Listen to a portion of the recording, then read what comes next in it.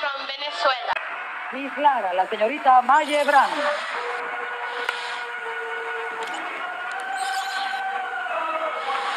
Sus medidas son busto 90, cintura 59, caderas 90. Miss Lara realza su estilizada figura con Miss Power, el calzado del poder bello. Maye Brand, la de los ojos verdes y figura de tamonangue. De pelo negro mide 1,75. Miss Lara 1980 ha dicho que la juventud debe llevarse con mucha informalidad. Y la elegancia con el mejor alarde de buen gusto. Miss Lara tiene 18 años.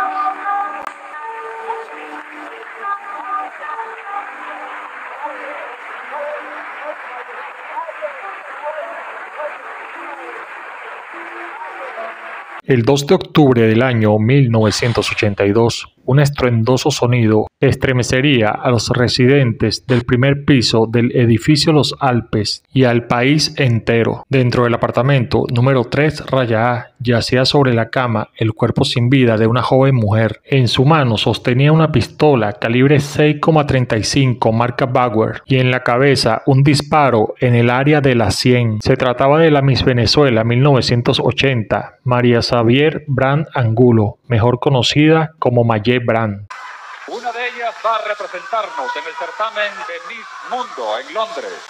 Y la ganadora nos representará en el certamen Miss Universo en Seúl, Corea del Sur. La primera finalista del certamen es Hilda Abraham, Miss Departamento Vargas. Miss Venezuela 1980 es Valle Brand Miss Lara.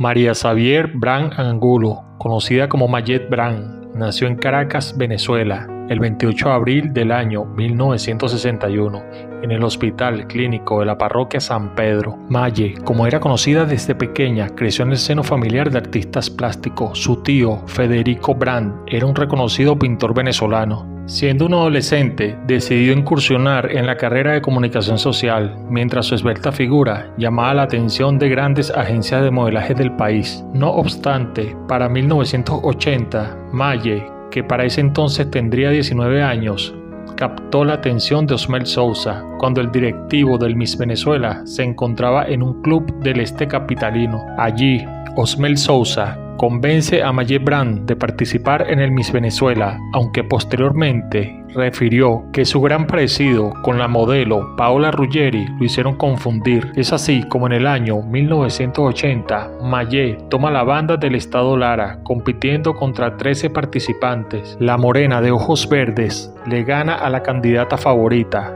Hilda Abrahams, convirtiéndose en la soberana de la belleza venezolana, recibiendo la banda del Miss Venezuela de la Miss Universo 1979, Maritza Sayalero, en el primer Miss Venezuela transmitido en el país en televisión a color y el primero en ser producido por el gran Joaquín Riviera. Lisbeth, en tu opinión, ¿cuál es el problema o la circunstancia que afecta más la vida de los jóvenes? Antes que todo, buenas noches. Bueno, Gilberto, yo pienso que existe una constante amenaza para nosotros los jóvenes. ¿Quieren que les diga que es una guerra nuclear? ¿Te imaginas? Una guerra nuclear no permitiría a nosotros los jóvenes estudiar, trabajar y tal vez no podremos casarnos ni tendremos hijos. ¿En qué pensamos? En galácticas. Gracias. Una muchacha de mucho futuro, imaginación de futuro. La número 10, Miss Lara.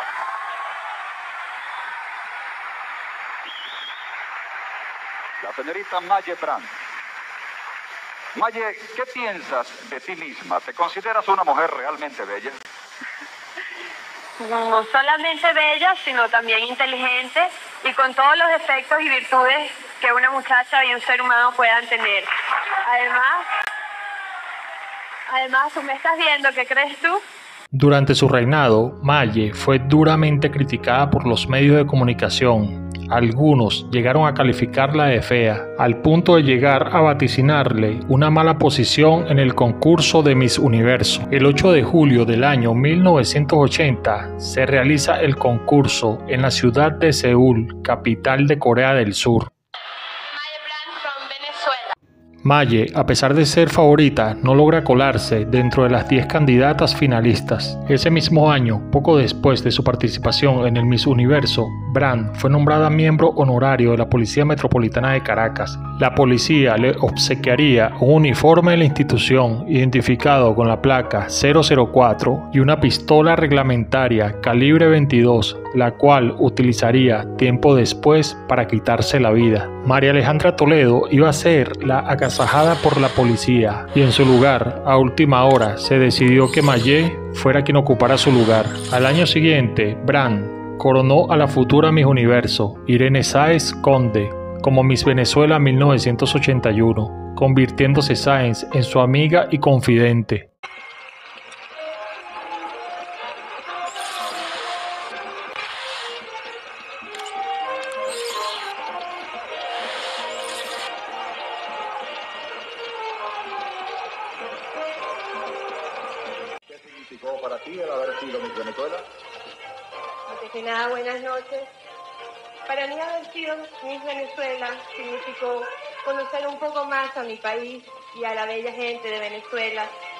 Y me ha enorgullecido más, cada vez más, haber nacido en esta bella tierra. Gracias Venezuela y gracias a todos ustedes.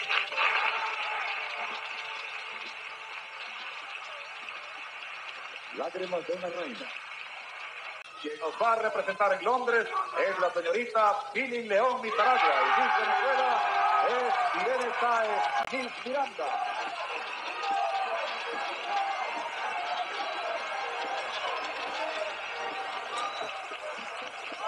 Pero Maye no desapareció de la vida pública tras el fin de su reinado, ya que en poco tiempo empezó una carrera lucrativa como modelo. El 2 de julio del año 1981, Maye asistiría a una cena organizada por el exministro de Interior y Justicia, Rafael Montes de Oca. Es en esa cena donde Maye conoce a Rafael Briceño Simancas, mejor conocido como Giancarlo Simancas, quien era para esos momentos uno de los galanes más populares de América Latina.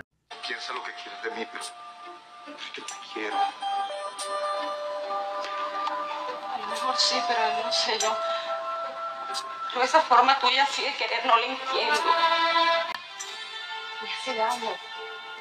Te destruye a ti, Juan Miguel. Me destruye a mí. Luisana. Luisana, tú no puedes dejarme. Esta es tu casa. Y yo soy tu marido.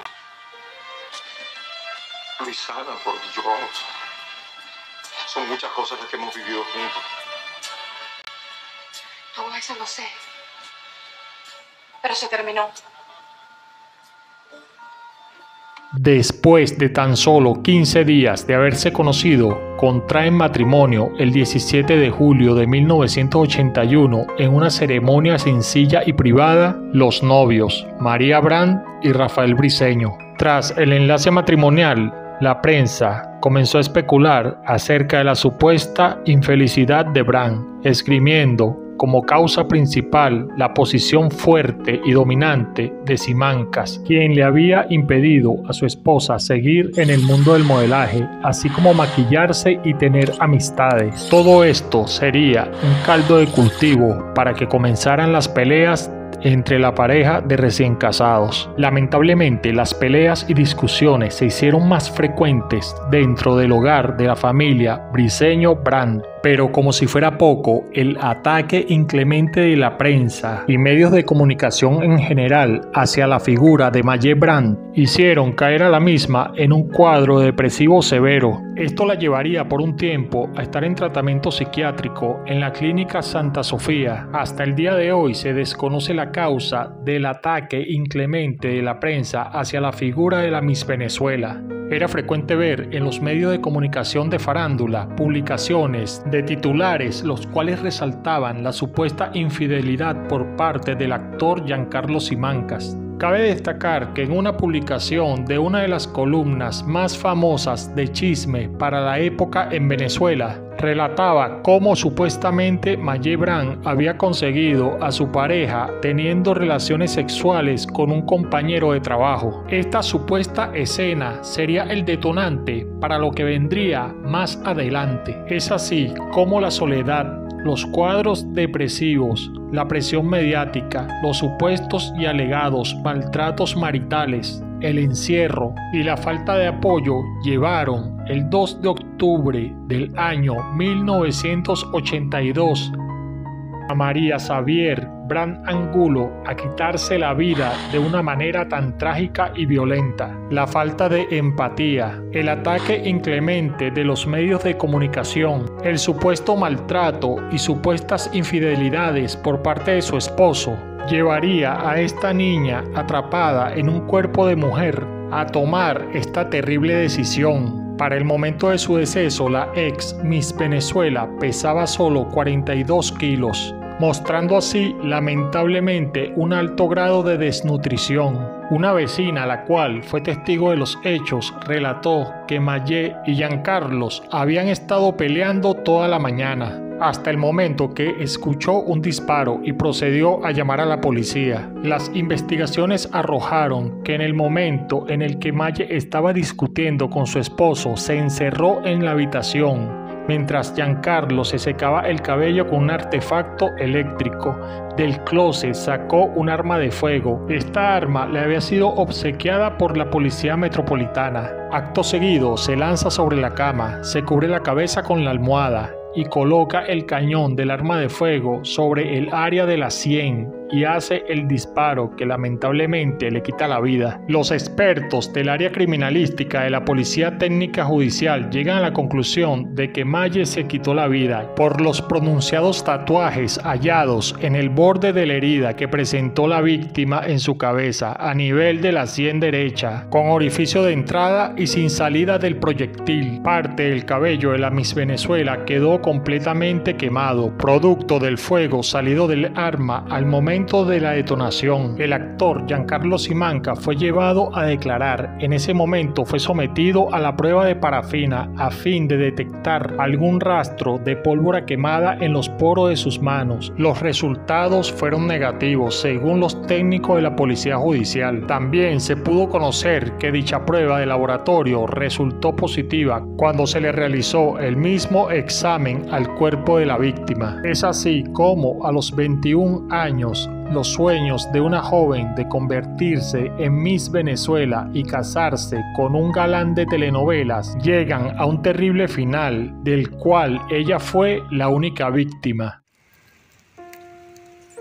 Amigos, aquí nos encontramos en el cementerio del Este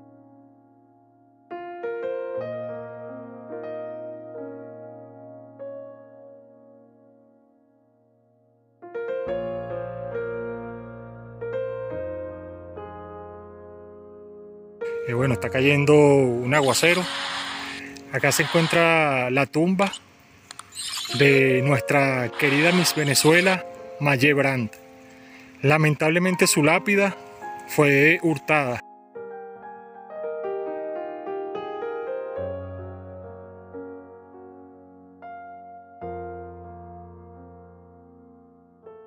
Esto es lo que tiene Maye Brandt como recordatorio por los momentos. Su nombre escrito con pintura negra de aceite.